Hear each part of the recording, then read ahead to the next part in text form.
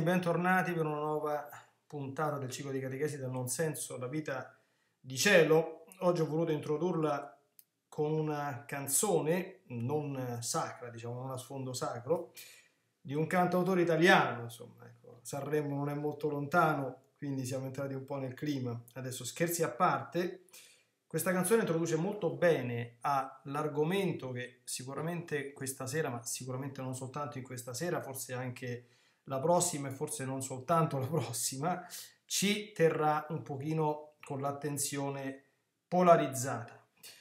Questa è la sesta puntata e stiamo cominciando ad entrare dentro noi stessi.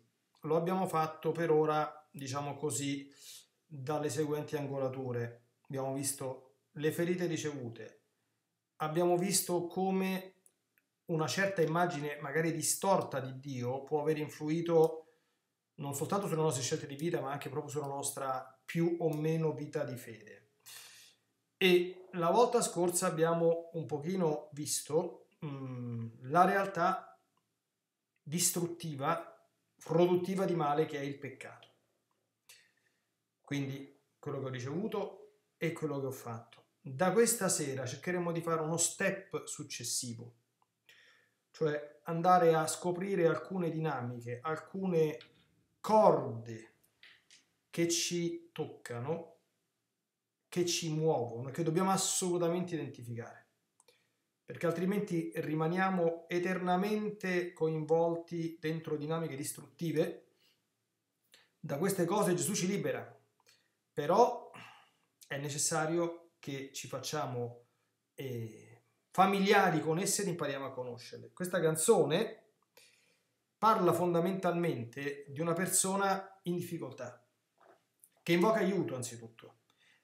Dice all'amore suo portami via, cioè io chiaramente, sicuramente il cantautore, sicuramente può darsi anche che anche lui alludesse a qualcuno di nostra conoscenza. Io dietro quell'amore mio invito tutti quanti a decodificare Gesù, perché è lui che ci porta via da tutte queste realtà. Quali sono queste realtà? Dai riflessi del passato perché torneranno, gli scheletri che abbiamo nell'armadio, gli incubi che ci portiamo dietro. Dai sospiri lunghi per tradire il panico che provoca l'ipocondria. L'ipocondria è una delle paure psicologiche di cui sicuramente parleremo. Guardate che il tema delle paure che questa sera cominceremo ad affrontare è un tema assolutamente importante, che io stasera ho avuto la, l'attenzione proprio polarizzata verso questa puntata, perché ho cominciato diciamo, a interiorizzarla da un po' di tempo prima, e anche su Twitter, il tweet che ho twittato questa sera, insomma, non so chi sta seguendo la diretta o chi seguirà la differita, chi l'ha visto, eh, è intestato così, dietro ogni problema c'è sempre una paura ed è Gesù che ci libera da ogni paura. Lo vedremo ecco, in questa e nelle prossime puntate. Dalla convinzione di non essere abbastanza forte, proseguo con la lettura del testo della canzone che è un po' introduttoria, dalla convinzione da quando cado contro un mostro più grande di me, un mostro più grande di me. Chi è questo mostro più grande di noi? Quando cado contro un mostro più grande di me, chi è? Adesso lo vedremo subito chi è questo mostro più grande di noi, mostro cattivo che però muove le fila, muove le, le file, i, i fili, diciamo così, della nostra anima attraverso le leve distruttive delle paure. Purtroppo.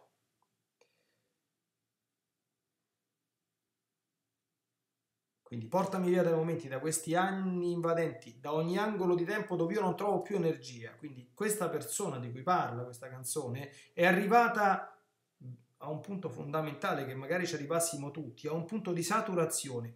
Sta male, ha preso coscienza di stare male e chiede aiuto. Ecco, vedremo che andando avanti, sì, noi possiamo fare una bellissima diagnosi eh, esistenziale anche della nostra condizione, ma noi da soli non usciremo dai guai. La battaglia contro il male noi non la possiamo vincere. Contro il male non si combatte da soli. Non si combatte da soli. Vedremo anche questo.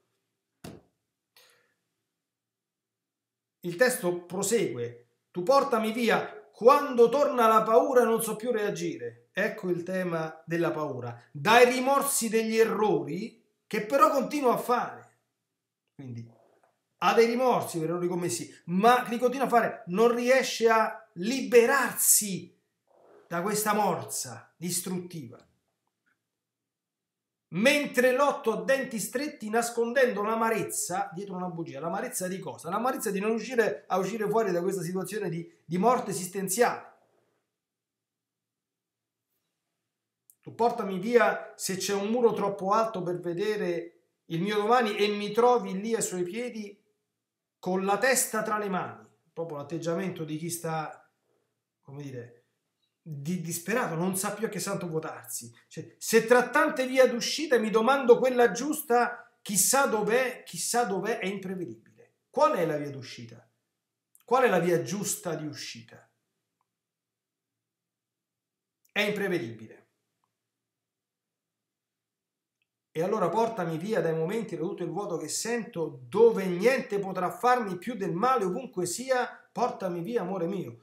Questa spero che anche per Fabrizio Moro sia così, deve diventare la nostra preghiera, il nostro grido che si eleva al Signore. Perché se gli facciamo questo grido, lui ci porterà via. Lo dobbiamo fare con tutto il cuore. Perché lui non vede l'ora di persone che ci dicono, che gli dicono portami via di qui, non ce la faccio più, aiutami. Il senso del percorso che stiamo facendo è questo. Io sono proprio addolorato, vi dico da, da sacerdote, da parroco, nel vedere, pensiamo adesso all'ultima paura, no? l'ho scritto anche nella lettera alla comunità eh, del mercoledì delle, delle ceneri, in termini, diciamo, ho cercato di usare dei termini un pochino delicati, dico, ma la paura qui sta prendendo il sopravvento, adesso questa paura di queste pandemie, cioè, non possiamo farci vincere dalla paura, non, non possiamo, non dobbiamo, non dobbiamo. Non possiamo permettere che la paura ci tenga lontani dalla, dalla Chiesa. C'è il 30%, ma siamo stati in una riunione di preti questa mattina, qualcuno, e non, non ha torto, diceva, il 50% della gente che andava a messa non ci sta andando più. Allora, le prove, l'ho già detto in qualche altro intervento nei giorni scorsi, sapete perché nostro Signore ci mette alla prova? Perché soltanto nella prova noi conosciamo chi siamo, si conosce chi sei. Allora la prova fa uscire fuori quello che c'è, perché un, la prova la supera chi è preparato, chi non è preparato non la supera. E che cosa esce fuori dalla prova? Che è impreparato. Cioè una persona che a causa della pandemia, nonostante tutte le precauzioni, cioè tutto si può dire alla Chiesa italiana, meno che non abbia proprio avuto una linea proprio ultra collaborativa che de più non si può, insomma, no? Anche troppo per certi, se mi posso permettere, specialmente nei primi tempi dopo il lockdown, troppo, forse, d'accordo? Però eh, non discutiamo le decisioni, insomma, delle altre sfere. Quindi, cioè, se nonostante tutto questo la paura ti prende e tu non vai più in chiesa, senza giudicare nessuno, ti devi chiedere come mai la paura vince? Punto interrogativo. Come mai? Come mai ti prende questa paura? Allora, ci introduciamo al tema con la Sacra Scrittura. Vediamo un attimo un punto fondamentalissimo questa sera del Nuovo Testamento. La lettera agli ebrei, che parla proprio di questi temi, eh? nei versetti 14 e 15. Quindi riprendiamo, passiamo da Fabrizio Moro, lettera agli ebrei. Chi lo sa, se Fabrizio Moro sentirà sta catechesi, se, se si arrabbia, insomma, chi lo sa, insomma, no? Difficile, però. Eh. Allora, lettera agli ebrei. Poiché dunque i figli hanno in comune il sangue e la carne, il sangue e la carne, quindi ciò di cui siamo fatti, aima aimatos in greco, eh? e sarx, proprio carne e sangue, quindi ciò che è proprio di questa vita mortale, dice, anche Cristo ne è divenuto partecipe. Attenzione, la, la carne e il sangue, la carne indica l'uomo nella sua condizione di debolezza. Quindi ci sta dicendo che Cristo si è fatto uomo non nel peccato come noi, lui non ha né contratto il peccato originale né ha fatto peccati, ma ha assunto la condizione umana non quella che aveva Adamo prima del peccato originale, quindi una condizione uh, idilliaca, no, ma ha, assunto una condizione umana simile alla nostra, pur non avendo dentro di sé la legge del peccato, come la chiama San Paolo. Cristo ne è divenuto partecipe. E perché ha fatto questo? Perché doveva andare a vincere il diavolo dove nella nostra condizione di debolezza, siamo in Quaresima, questa, questa catechesi che capita in Quaresima, è stato 40 giorni nel deserto per combatterlo e prenderlo a schiaffi con una natura come la nostra. Quindi provato dalla fame, provato dalla sete, d'accordo? Provato dalla solitudine, non lo sappiamo, io non, non mi azzardo insomma a dire, io non lo so com'era il rapporto di Gesù con suo padre, che non mi posso azzardare, no? Dalla fame e dalla sete però è sicuro, insomma, no? Ne è divenuto partecipe, attenzione, per ridurre all'impotenza come mediante la morte, di, proprio la morte, eh, chi colui che della morte ha il potere, cioè il diavolo. Cioè il potere della morte, che significa? Il potere di ucciderci, il potere di farci male, ma tanto, d'accordo? E non soltanto dal punto di vista fisico, non soltanto.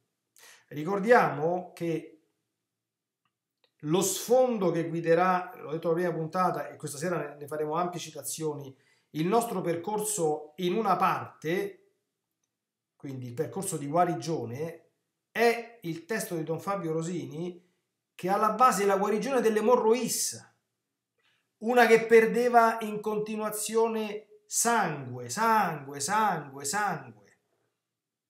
Quindi la vita che ti esce è perdere sangue, perché il sangue è la vita. Quindi il Signore della morte è il diavolo non solo perché ha introdotto attraverso il peccato originale la morte fisica, sì, è certamente anche questo, ma ha introdotto la morte in cui vivi tu e in cui sono vissuto io. Dico sono vissuto perché mi sembra per grazia di Dio adesso almeno con questa morte di non averci più niente a che fare e spero che anche per te possa essere il passato prossimo o remoto.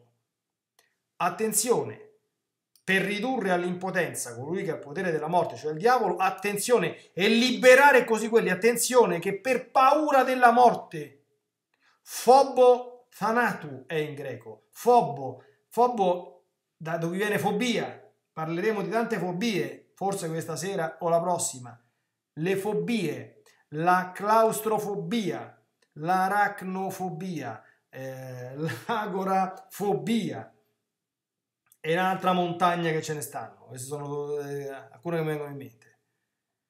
Liberare quelli che per paura della morte erano soggetti a schiavitù per tutta la vita. Adesso le vedremo tutte quante le schiavitù. Le schiavitù sono le dinamiche distruttive che noi ci portiamo dietro e che sono alla base dei nostri comportamenti distruttivi che poi generano i peccati.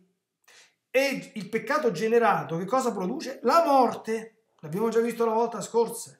Il peccato è morte, morte, morte, distruzione, tristezza, angoscia, desolazione. Dove c'è il peccato, la vita non c'è e non ci può essere, nessun motivo, d'accordo? Peccato va d'accordo con morte, eh, virtù va d'accordo con vita, cioè ieri, giovedì dopo le cene, la liturgia della Chiesa, che ha una sapienza spettacolare, qual è la prima parola che ci mette davanti dopo le ceneri? La prima lettura di ieri. Io pongo davanti a te la vita e il bene, la morte e il male. Scegli la vita perché sia felice tu, tuo figlio, la tua discendenza e tutti quanti. Perché se tu scegli il male, sperimenterai la morte, sarai infelice tu e seminerai infelicità intorno a te, dovunque ti giri, dovunque ti muovi. Questa è la grande menzogna che dovremo smascherare. Allora, questo è il quadro. Attenzione, quindi vuol dire che il diavolo non è, vedremo anche al termine di questo, diciamo, filone che si apre questa sera, la dinamica della tentazione. Perché il diavolo fa secchi tutti quanti, eh? cioè, il diavolo è terribile. Vedremo che l'unico modo per combattere il diavolo ci sono due sistemi, solo due. Primo, rivolgersi al Signore e secondo, scappare. Non parlarci mai, sottrarsi alla sua azione, non entrare mai in scontro diretto contro il diavolo, perché se entri in scontro diretto hai perso, d'accordo? Se il Signore ti mette in condizione di dover fare uno scontro diretto, allora invoca che, che, che ti dia l'aiuto, ma solo se ti ci mette lui. Tu non te la andai a cercare, tu scappa. Perché col diavolo non si scherza. Io non voglio fare le polemiche, insomma, tutte queste commedie che sono state fatte con la, la, nuova versione italiana del Padre Nostro, dico, ma non, è tanto difficile, cioè non abbandon- il termine greco esenenkes è quasi intraducibile in italiano, d'accordo? Per cui, allora, che Dio non ci induca in tentazione l'abbiamo sempre saputo, da sempre, d'accordo? Da sempre. Ecco. Ma la nuova traduzione cosa dice? Signore mio, non mi lasciate solo se viene il diavolo a tentarmi. E questo è quello che dobbiamo chiedere. Attenzione, non è che il Signore ci lascia da soli, siamo noi che da cretini, mi si perdoni il termine cretini si può dire, eh? d'accordo? Poi se non si potesse dire facciamo una variante degli abitanti dell'isola di Creta, però a quello che so si può dire, ecco. Cioè, restiamo come degli stolti, se preferiamo. Da solo combatti, se tu combatti da solo contro il diavolo, sei morto. Sei morto. In partenza, non c'è nessuna possibilità. Nessuno. Nessuno. Nessuna. Ok? Allora, adesso entriamo in alcune dinamiche. Dietro la nostra vita c'è un vuoto pazzesco. Tutti ce l'abbiamo. Tutti quanti, chi più e chi meno.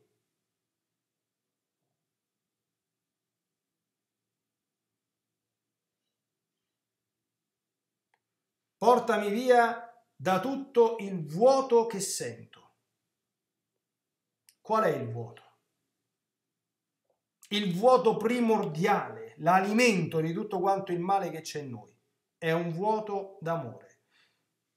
Perché abbiamo cominciato questo percorso, alla scoperta di me stesso? Perché tu chi sei non lo sai. Non, lo sai, non sai né chi sei. E tanto meno tu sai chi sei per Dio, non lo sai. Tu non hai la più pallida idea di chi sei per Dio, non lo sai. Il vuoto primordiale in cui purtroppo siamo nati è un vuoto di amore.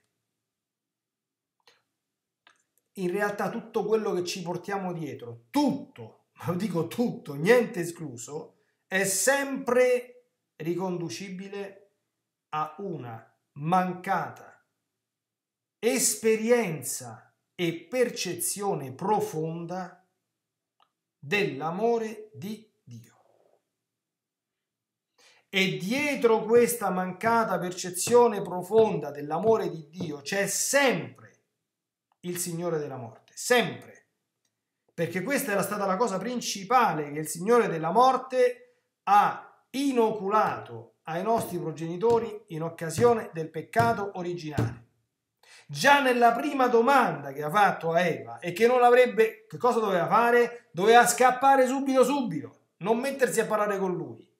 Perché la prima domanda del diavolo era una domanda avvelenata, brutta, anche se sembrava innocua. È vero che il Signore vi ha detto che non potete mangiare di nessun albero? Questa è una domanda avvelenata.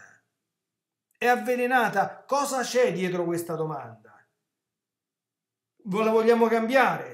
Vogliamo dire la verità che era nascosta dietro, dietro questa cosa. Dice,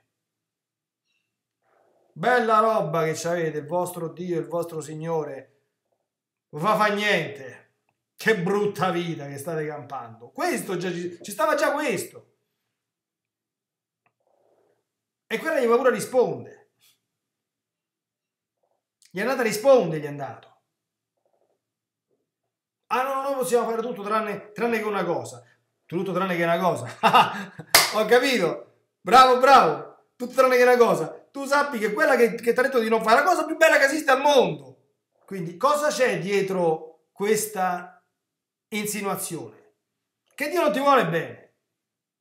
Dice, a posto fa tutto meno che una cosa. Ah, la cosa più bella di tutti non la puoi fare. Eh, allora, una persona che mi ha fatto questo mi vuole bene. Dio concorrente della felicità. Ma che, ma che gliene importa Dio di quello che fai? Eppure ci ha creduto già. E perché l'ha fatta quella cosa? Dice, fammi vedere, ma sarà vero? E ci ha creduto. La vita di tutti gli esseri umani è così. Io non voglio, insomma, cioè, su questo ne sono sicuro. Dice, ma tu riconosci tutti gli esseri umani? No, ma non c'è nessun dubbio che sia così.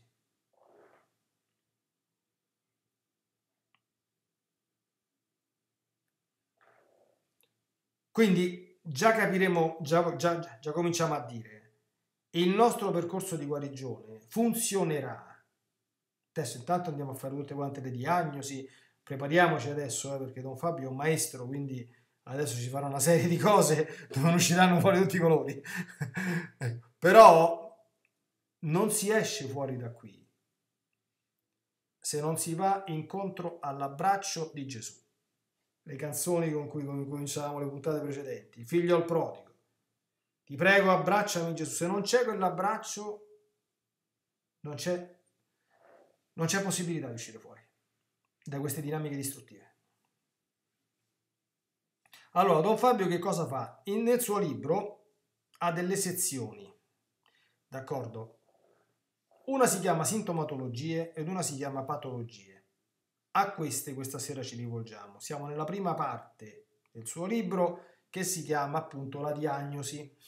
Io prendo qualcosa da lui perché insomma quando le ho viste, eh, a parte la penna straordinaria, oltre che la lingua straordinaria, ma c'è anche un una grandissima capacità di introspezione e un dono della sintesi.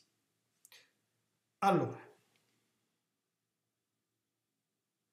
teniamo presente una cosa, qui comincio una sorta di citazione.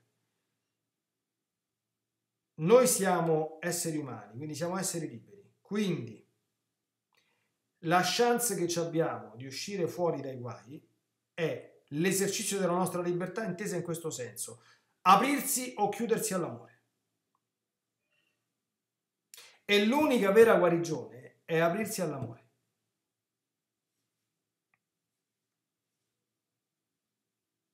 Allora, quali sono le nostre, così le chiama, desintonie dall'amore? Dov'è che il nostro amore sanguina? Dove facciamo esperienza di morte? Perché perdere sangue vuol dire morire. Ti esce la vita da dentro. Allora, qui comincia una carrellata che dura quasi quattro pagine, ok?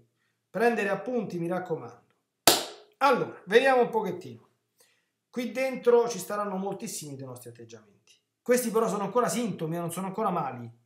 Ok? Sintomi vuol dire, come dice la parola greca, sintomo è da symptoma, sympiptein, quindi cadere insieme, quindi coincidenza, quindi qualcosa che capita insieme ad un'altra. Ok? Quindi in presenza del sintomo vuol dire che c'è una malattia. Quindi se tu hai qualcuno di questi sintomi, c'è dietro la malattia. Ok? Quindi il sintomo non è ancora la, l'aver individuato la malattia, perché bisogna andare a fare ancora un altro step. Dietro questi sintomi, cioè la, la sequenza è questa qui, malattia, sintomo, comportamento. Il comportamento generalmente è un peccato, un comportamento cattivo, quello che è alimentato da un sintomo balordo che ha alla radice un male, una malattia, che vedremo tutte quante le malattie sono alimentate come il fuoco, come la benzina per il fuoco, dalla paura. Allora, vediamo gli esempi di sintomatologie malate. Può capitare di non riuscire a dire dei no a chi ci circonda e di essere ingabbiati dal non potersi permettere di deludere nessuno. Questo sembra anche bontà. Oh, quello è bravo, non dice mai niente no a nessuno. Questo non è amore però, questa è schiavitù. Il non saper dire di no. Altre volte ci si svende per un briciolo di riconoscimento altrui, perché qualcuno ti stimi o perché qualcuno ti ami. O magari ci interessa qualcosa Partiamo in quarta e asfaltiamo le persone, termine oggi molto molto di moda. Asfaltiamo le persone vuol dire che per ottenere quel qualcosa che mi fa, che, mi, che, che, che ci tengo, eh, passo sopra il cadavere della gente. Altri sono sempre scontenti di se stessi, pensano di fare tutto male. Sono i crepuscolari, quelli che, hanno, eh, che leggono troppo le poesie di Foscolo e di Leopardi, che sono bellissime, d'accordo? Però sono espressioni, diciamo così, di... ecco, vabbè, ogni tanto ci mettiamo, insomma, una piccola battuta.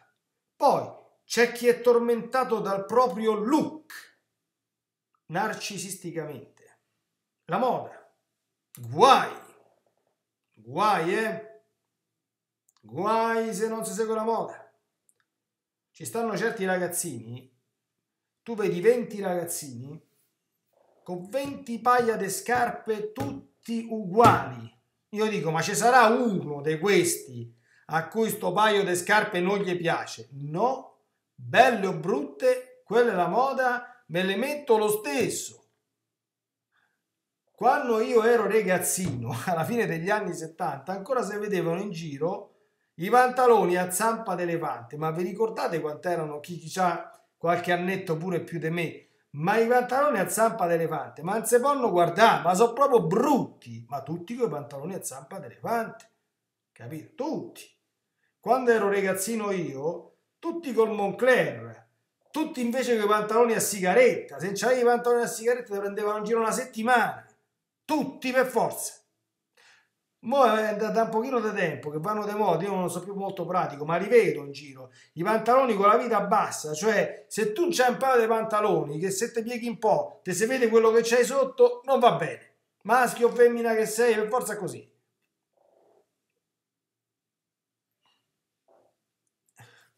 Cosa c'è dietro questo? Cosa, questo è un sintomo questo qui, eh? Sei, perché non sei capace di sfuggire da questa logica? Ecco. Poi, può capitare di essere soggiogati dal piacere fisico o dalle compensazioni e non riuscire a reggere un, minimo, un minuto di frustrazione. Qui ci sono tutte quante le forme compulsive anche di sessualità, pensiamo all'autoerotismo, pensiamo alla bulimia, chi magna, magna, magna, chi sempre la magna diventa una balena, cioè sappiamo tutti quanti che dietro il mangiare c'è una compensazione dietro il mangiare in maniera compulsiva. Cioè tu c'hai dei vuoti d'affetto e magni, magni, magni, magni, colmi, d'accordo? Cioè anche da un punto di vista psicologico, mangiare, quindi il gustare, l'interiorizzare cibo è proprio una compensazione di carenze, di vuoti.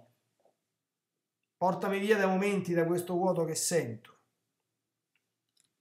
Alcuni non si scrollano mai di dosso il passato. 570.000 confessioni generali e manco bastano, facciamo 571.000, ok? Altri sono possessivi e invadono gli spazi altrui, le persone indiscrete, le persone che, che, che fanno domande cioè, di, di, dirette, capito? Cioè, eh, che, che invadono la, la sfera intima del prossimo. Ma chi ti autorizza a fare questa domanda?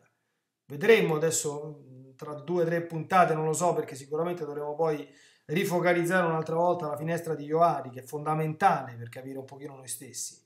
Quindi quelli che entrano dentro l'io segreto, in takel, capito? Cioè, ma chi, chi ti ha autorizzato a te di, di farmi questa, questa domanda? Si dovrebbe dire se, se, se, non, se non si mancasse la carità, ma come ti permetti di farmi questa domanda? Cioè, chi te la dà sta confidenza? Altri ancora fanno tutto di testa, hanno il cuore freddo, sono le persone glaciali, sono le persone iperrazionali, supercerebrali. Poi c'è chi entra in competizione con chiunque. La sua relazione è la competizione. Chiunque mi sta intorno è un potenziale rivale e io devo dimostrare di essere meglio di chi mi sta vicino. Chi deve sedurre chiunque gli capiti a tiro, chi attira per prendere, il seduttore, non soltanto il seduttore, come dire, il Don Giovanni, d'accordo? No, c'è anche il seduttore dell'affetto, c'è il seduttore dell'attenzione. Quelli che fanno le vittime si fanno compatire, continuazione, cioè, stanno sempre a piangersi addosso e desiderano qualcuno che gli, pianga addosso sopra e che gli dica ma poverino, ma poverina, ma che testo, ma tutte a te, ma che hai fatto di male per meritarti tutto questo? D'accordo? Poi c'è chi sta col freno a mano tirato e non si lascia andare, le persone che stanno ingessate, come dire, incapsulate, eh, impacciate, tirate. Poi alcuni non dimenticano i torti subiti, e hanno i conti in sospeso col mondo, ce l'hanno con mezzo mondo, d'accordo? avvelenati proprio, pieni di rancore, di livore. Poi c'è chi parla male degli altri qualunque discorso faccia, non sa dire quattro parole senza aver detto male di qualcuno. E se tu glielo dici, ah no, ma io dico la verità, io mica sono un ipocrita io dico la verità, mica sono un ipocrita. Poi sarebbe interessante, per cui se, se apriamo questo discorso facciamo 40 puntate, cioè andare a vedere le giustificazioni di queste sintomatologie malate. Poi c'è chi non accetta critiche. Oh, mi puoi dire, io, per carità, nessuno è perfetto, io ho tanti difetti. Poi gliene dici uno, ah no, questo assolutamente no. Questo, tutto, ma questo no. Però qualunque cosa gli dici è tutto, ma questo no. Chi manipola i racconti per essere interessante. Alcuni si fanno i film mentali e vedono gli altri come dei mostri. D'accordo? Cominciano a pensare che chi lo sa che, che cosa pensa quello che mi sta vicino, che cosa penserà di me. E allora che penserà? Ma dice no, questo, questo, questo, questo pensa male di me, questo mi vuole male, cioè, e, e cominciano a pensare a chi gli sta intorno, pensa chissà cosa, chissà quale cosa brutta, d'accordo? Di, di... Non è vero, eh. sono film mentali, sono. Sono cose che non stanno nella realtà. Poi ci sono quelli che non si sbilanciano e restano neutrali su tutto, non prendono mai posizione, mai. Quindi rimangono sempre out. Poi, per altri è meglio schiattare che chiedere aiuto schiattano, ma aiuto non lo chiedono né a Dio né al prossimo. Alcuni sono maschi alfa o femmine dominanti, per cui tutto è autoaffermazione e competizione. Personalità, come dire, eh, ultra leader, sono quelle che poi ingenerano i meccanismi di dipendenza psicologica, di idolatria o cose di questo genere mentre altri hanno vergogna di se stessi, si vergognano di se stessi per nessun, per, per nessun buon motivo. Eh? C'è chi diventa una bestia se non succede quello che si aspetta e chi invece cerca di passare inosservato dovunque e chi non si apre mai del tutto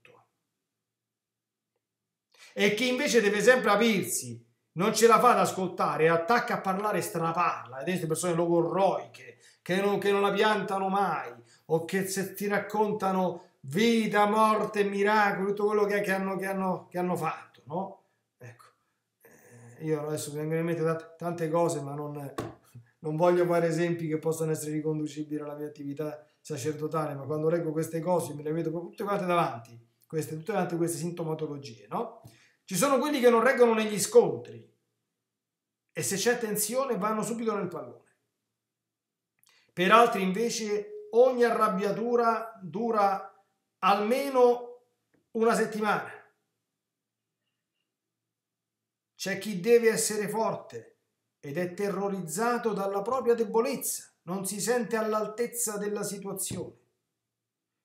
Poi ci sono coloro che evitano i confronti e si comportano da ipocriti. Alcuni sfoderano i propri successi e le abilità appena possono quindi sono quelli che fanno sempre notare in maniera diretta o indiretta quanto sono bravi, quanti titoli hanno, quanti lauree hanno, quante cose belle hanno fatto, quindi, a, a, sotto tutti i punti di vista. Poi c'è chi passa la vita ad evitare ogni possibile esclusione. L'incubo è che io mi senta escluso. Alcuni debbono denigrare invece chiunque emerga intorno a loro. Se qualcuno è migliore di me, via, una montagna di fango addosso. Vedremo che questo qui dietro c'è il vizio capitale dell'invidia. Altri non si fidano di nessuno, sono i diffidenti per antonomasia. Altri ancora si fidano di tutti e sono gli ingenui acriticamente. Allora, quattro pagine, questo non è Rofarina del mio sacco, d'accordo? Non ne vedo le dirette Don Leonardo, Don Leonardo, questo è Don Fabio, Don Fabio, non è Don Leonardo, Don Leonardo, d'accordo? Ho, ho, letto il libro di Don Fabio, ho detto che Don Fabio ha un'esperienza, ha dieci anni più di me tra l'altro, quindi eh, straordinaria. E come lui stesso nota, questi sono solo alcuni esempi. Se volessimo ne potremmo fare altrettanti, anzi due volte tanto ancora. Ma sono ancora tutti questi sintomi. Allora, dietro, la sintomolo- dietro le sintomatologie bisogna adesso andare a vedere, e passo al capitolo seguente, Ricordo che il testo che sto seguendo si chiama L'arte di guarire, l'emorroissa e il sentiero della vita sana per questa sezione. Ok? L'autore è Don Fabio Rosini. Si trova anche la versione elettronica sia su Amazon per chi ha che per chi usa Kindle e Android e sia su Apple Books per Store per chi usa l'iPad o l'iPhone oppure vi fate arrivare il cartaceo per chi gli piace a casa. Si trova anche su Amazon. Io un libro che non è che consiglio de più anche perché lo seguirò in diversi momenti. Certo non solo questo però una parte del percorso, come avevo già accennato nella prima puntata, eh, ci aiuterà non poco, d'accordo? Io sono felicissimo quando posso anche, come dire, utilizzare i contributi dei miei confratelli sacerdoti e sono felicissimo di più quando posso parlare non bene, ma ancora di più di qualcuno dei miei confratelli si parla male di nessuno e si è felici di parlare bene del prossimo, d'accordo? Come dice, fossero tutti profeti in Israele, insomma, Dio volesse fare, a donare a tutti il suo spirito. Ecco, questo. Allora, nel capitolo seguente, quelli erano sintomi. I sintomi denotano delle patologie. Andiamo a vedere cosa c'è dietro questi sintomi.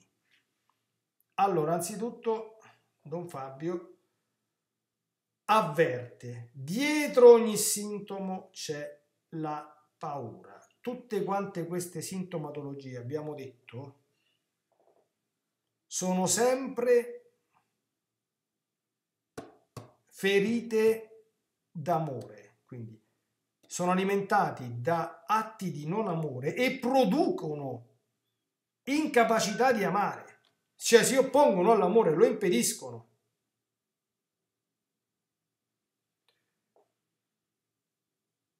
Allora, che colpi hai ricevuto? Che ti hanno fatto? Quale colpo c'è, riprendo la citazione, dietro la vergogna, la mancanza di libertà, la chiusura, le violenze, le possessività, le dipendenze, gli appetiti disordinati, le timidezze, i cuori freddi, l'ansia di sedurre, il fare i buffoni. Pensate a quelli che stanno sempre a fare il buffone, d'accordo? Devono sempre fare i del prossimo. Gli autodisprezzi, le torture cervellotiche, le aggressività o le insicurezze, le balbuzie affettive, sentite che bel termine, di ogni genere, le persone che non sanno amare bene, non sanno trasmettere positività, affetto sano, un gesto gentile, no? La famosa carezza, ecco, di cui parlava San Giovanni XXIII, il Papa vi dà una carezza, tutto il mondo contenti, insomma, no? O quando Papa Francesco dice giustamente, insomma, parla della, dell'importanza della tenerezza, questo è un punto, insomma, che penso che non si possa uh, discutere, no? Eh, l'amore di Dio nella, nella, Sacra Scrittura è accostato all'utero materno, cioè eh, il grembo della madre, eh, la, la, madre è proprio il simbolo della tenerezza e dell'affettività per antonomasia, d'accordo? Ma mentre proprio il termine misericordia, nella versione latina, cor cordis, eh, fa riferimento al cuore, ma in ebraico le rachamim, quindi le viscere di misericordia, fanno proprio rechem è l'utero materno. Quindi Dio misericordioso vuol dire che Dio è, ha un cuore di madre e tra l'altro quello che ti fa l'utero, ed è quello che ci farà se ce lo facciamo fare, nell'utero nasce la vita. Quindi quella vita che tu hai perso sanguinando, lui te la ridà come? Attraverso il suo utero. Ricordiamo le parole di Gesù, no? Chi non rinasce da acqua e da Spirito Santo. Qui si tratta di rinascere. Sto ciclo di catechesi si chiama dal non senso alla vita di cielo. Non semplicemente una vita rella, sì vabbè, mo sistemiamo qualcosa, divento un po' più buono, risolvo qualche problema, mi passa un po' d'ansia. Il muso ce l'ho solo due volte alla settimana anziché 7 su 7. Eh, anziché dire 40 milioni di parolacce al mese ne dico 3.000 no, no, questo, questo, questo non, non, ci serve, d'accordo? Non è questo quello che, che l'obiettivo, questa non è la vita di cielo, cioè la vita di cielo non è una vitarella così grigia, da signor Rossi, insomma, no? mediocre, eh, stantia, sì, questo non lo posso fare perché forse questo è peccato, però non mi piacerebbe farlo. No, non è, non è, non è questo.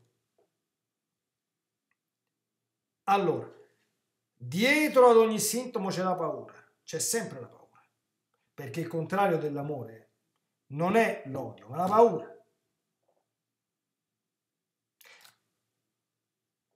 La paura è quella frusta, quel flagello che pulsa interiormente e storce gli atteggiamenti, rende aggressivi o remissivi, impone rassicurazioni, compensazioni o possessività. Quando vi risentirete sta catechesi, perché questa è da risentire, d'accordo? ma non perché l'ho fatta io, perché eh, se, se no, inventatevi qualcosa, rileggiamo tutta la carrellata di fango che abbiamo descritto prima e pensiamo la paura è quella frusta, quel flagello che pulsa interiormente, storce gli atteggiamenti, rende aggressivi o remissivi, impone rassicurazioni, compensazioni, possessività, detta i tempi delle compulsioni e spegne o ferisce l'amore del nostro cuore.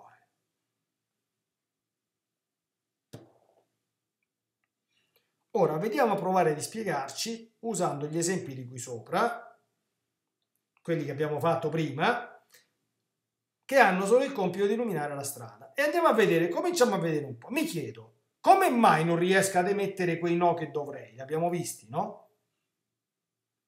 Che, come si chiama questa cosa? Si chiama paura di deludere. Ecco perché c'è dietro, vedete come c'è dietro la paura? Perché non riesco a dire dei no? Perché ho paura. Paura di deludere. Se io a questo lo deludo, questo non mi vuole più bene. Questo è, questo è il processo distruttivo.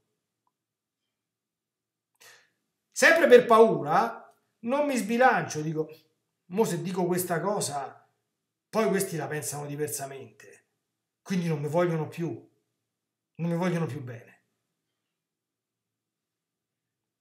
Perché non mi apro del tutto? No, no, no, no, no, no perché pensiamo anche alle persone che fanno le confessioni sacrileghe, no? Perché non, perché non dicono tutte le cose? No, no, no, io mi vergogno, ma chi lo sa poi il parroco che cosa pensa di me? Non mi saluta più. Oppure chi lo sa sto prete chi pensa che c'ha davanti, che c'ha davanti un pervertito. No, no, no, no, no. C'ha paura. Perché non dice tutto? Perché non si apre del tutto? Tutti vogliono il padre spirituale. 95% di esperienze di, di, di, direzione spirituale, lo dico con tanta tristezza, eh? tutto sono meno che direzione spirituale. Però Supponiamo che ci sia una direzione spirituale vera, ma tu ti apri del tutto? Mm. Nel mondo, se volessimo, tra tutte le persone che fanno la direzione spirituale, un numero di quelli che si aprono proprio, che sono proprio dei libri aperti, certamente per quanto sta in loro, per quanto conoscono. Libri aperti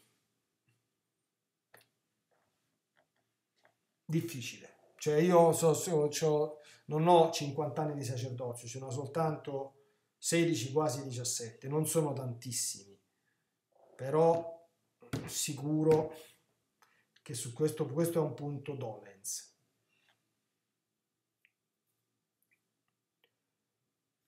Perché mi fido di tutti? Per non fare il difficile. Per paura. Perché evito i confronti? Smusso le tensioni. Sono un ipocrita, fingo, perché ho paura che mi giudicano, perché ho paura che non mi accettano, perché ho paura che dal confronto io poi ne esca fuori, come dire, disprezzato, esce fuori chi sono e quindi non mi vuole più. Un'altra cosa, perché sono possessivo? Con le cose mie, perché ho paura di perdere il controllo, il controllo della situazione, la sicurezza. Per questa stessa ansia sto col freno a mano tirato e non mi lascio andare. Sempre il controllo. Mi ossessiono per la mia incolumità, anche fisica, anche la paura compulsiva della pandemia, eh? sta qui, eh? Perché non mi fido di nessuno? Mm, perché devo controllare la situazione. Mm, io non, non mi fido. Controllo io, ci penso io. Perché mi arrabbio facilmente? Perché c'è qualcuno che sfugge al mio controllo e non, e non funziona secondo i miei schemi mentali. Perché divento una bestia se non va come penso? Lo stesso motivo. Ancora, perché sono sempre scontento di me stesso? Perché ho paura di non essere perfetto. Ho paura di non essere perfetto. Attenzione, il Signore nel Vangelo ci dice siate perfetti come è perfetto il Padre vostro celeste. Ma la perfezione evangelica, a parte che è diversa dall'idea distorta di perfezione che abbiamo noi come se fossimo dei supermen impeccabili, ma è un cammino.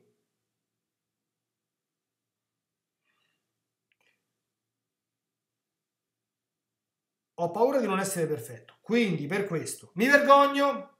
Che te devi vergognare? Di che ti devi vergognare? Sono persone che si vergognano anche delle cose, come dire, fisiologicamente normali, ne ho conosciute tantissime, si vergognano de- de- delle situazioni normali, cioè che tutti quanti gli esseri umani fanno. Ma che ti devi vergognare? Sei un uomo, capito? Noi esseri umani purtroppo, per esempio, non voglio essere, insomma, andiamo tutti quanti al bagno, no? Per forza, c'è qualcuno che non va al bagno? Eh, ma se io sto in mezzo a un sacco di gente non ci vado al bagno. che, fa, che fai? Che, faccio, che, che muore? Cioè, cioè, che ti devi vergognare? Purtroppo non è una cosa gratificante, non è una cosa esaltante, ma, ma al comune mezzo gaudio, cioè siamo, siamo tutti esseri umani, che dobbiamo fare? Fino a quando siamo in questo mondo, questo è, al paradiso non ci andremo più. Ma adesso è così. Mi vergogno, non chiedo aiuto. Oh, no, no, non chiedo aiuto. Eh, che, che, se, che, se, se, chiedo aiuto eh, non sono perfetto. cerco di passare inosservato. C'è chi pensa che passare inosservato, quindi io mi faccio gli affari miei, sempre per conto mio, sia una forma di umiltà. Per carità di Dio! La paura di non essere perfetto, poi vedremo, perché Don Fabio va oltre, è una forma di superbia.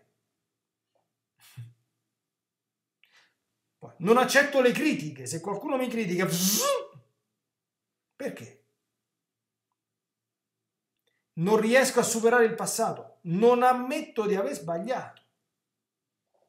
Non, ammetto, non lo accetto.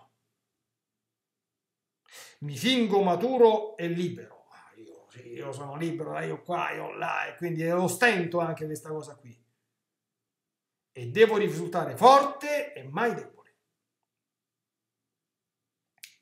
Ancora, perché devo piacere e sedurre? Perché ho paura di non avere importanza. Devo essere importante agli occhi del prossimo. Allora che succede? Attacco a straparlare.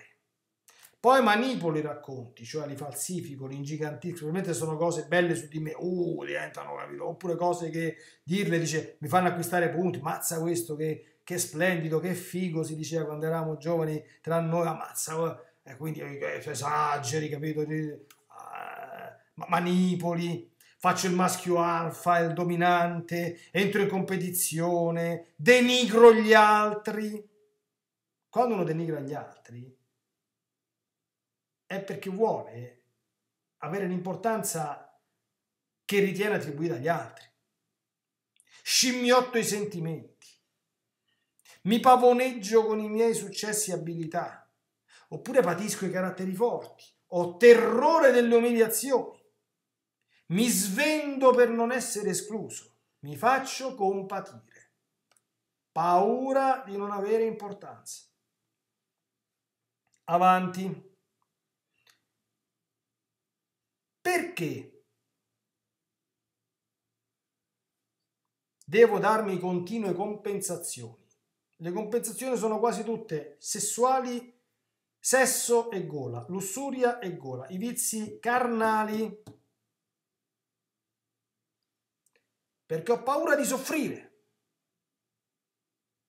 Allora cado nelle dipendenze mentre mostrifico ogni possibile rischio, esorcizzo il dolore cercando il piacere. E mi fisso sulle cose con avidità, imbarcandomi in troppe cose. E probabilmente anche questa paura è alla radice dell'epopea dei miei dolori. Oh, quanto ho sofferto, mamma mia, quanto ho sofferto, quindi gigantisco e non dimentico un torto subito, sta bello legato al dito perché mi ha vulnerato in un punto la paura di soffrire. Ancora,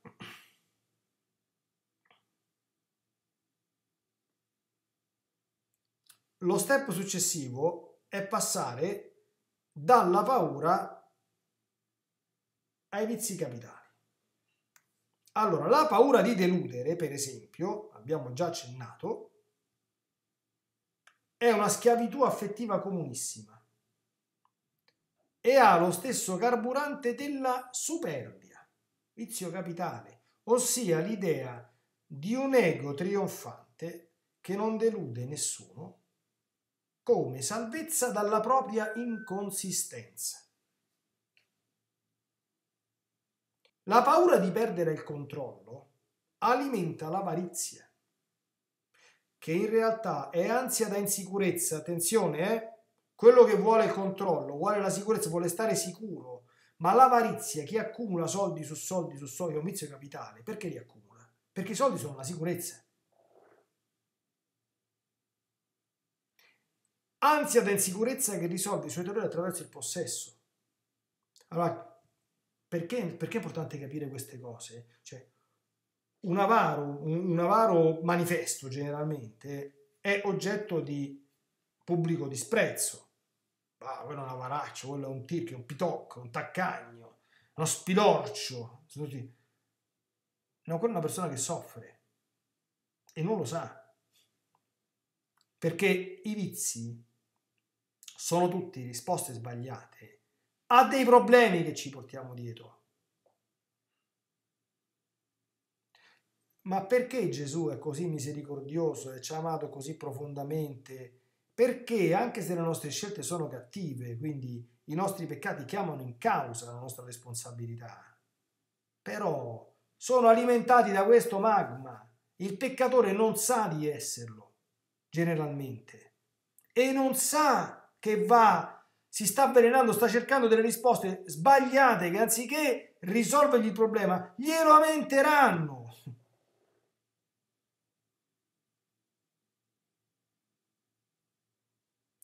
Connessa a questa paura di perdere il controllo è anche l'ira.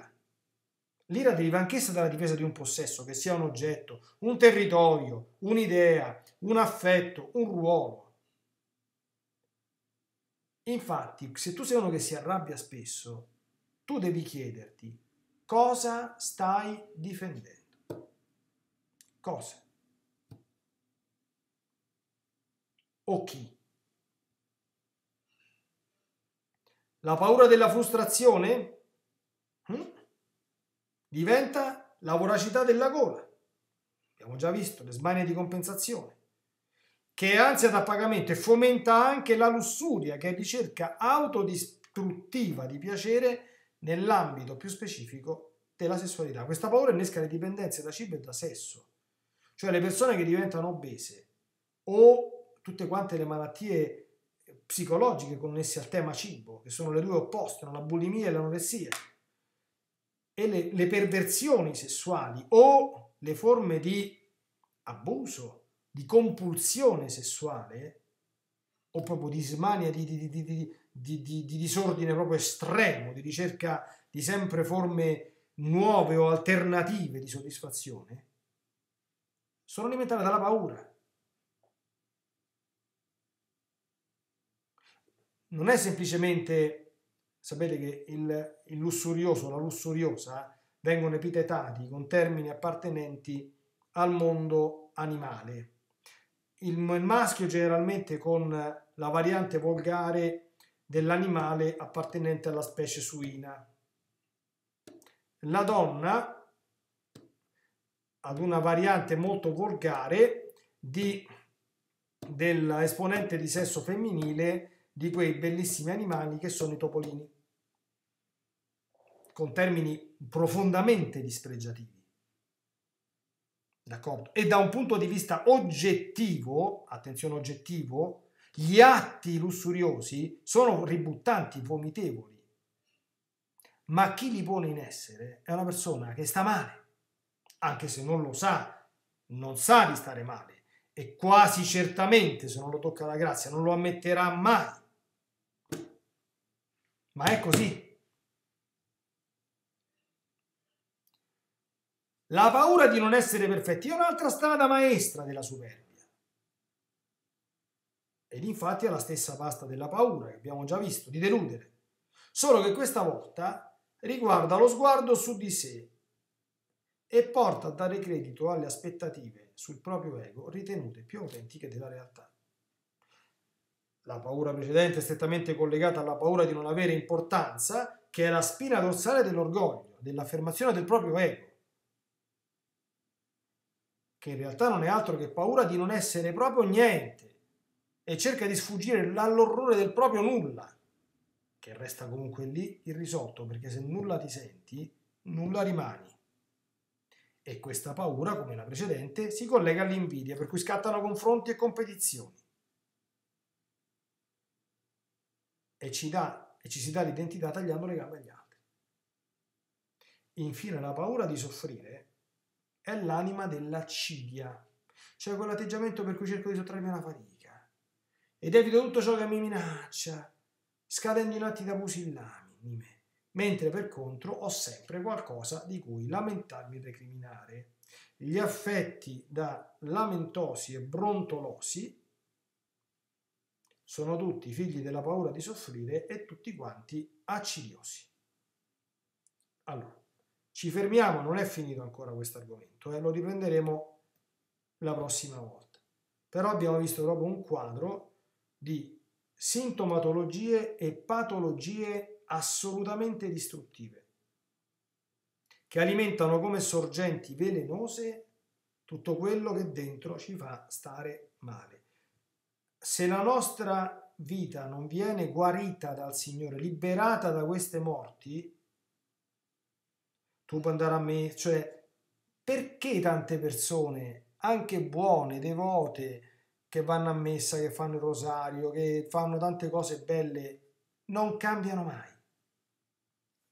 Perché non vanno alla radice profonda, perché intervenire qui, ve l'ho già detto alla prima puntata, costa dolore. Il Signore è il Signore che ci guarisce. Però già andare a guardare bene in faccia queste cose e poi lasciarci guarire dal Signore,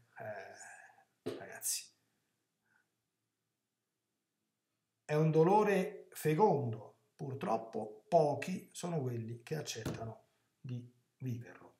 Io spero che tutti quelli che ascolteranno queste piccole riflessioni siano tra quei pochi e finalmente comincino un po' a vivere. Ci vediamo se Dio vuole la prossima settimana. Dio vi benedica e la Madonna vi protegga.